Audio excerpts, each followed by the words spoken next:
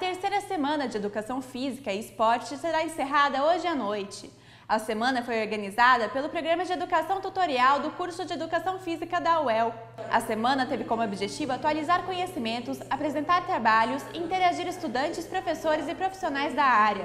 Nós entendemos que ela é uma ação muito importante para o nosso centro, nós paramos basicamente todas as atividades para que alunos e profissionais possam estar buscando cada vez mais conhecimento, aprimoramento profissional para as diversas áreas de atuação dentro do campo da educação física. Na manhã de hoje foi realizada a mesa redonda Perspectivas de Estruturação de Currículos no Ensino Superior. A mesa foi coordenada pela professora Maria Helena Guariente, da Prograde, e teve a participação dos professores Crivaldo Gomes, do Departamento de Educação Física, e da professora Evelyn Ogata Muraguchi, do curso de Medicina da UEL. Como nós podemos organizar o currículo de maneira a formar um profissional mais ético, é, mais centrado na questão científica e voltado muito para a prática é, dessa vivência.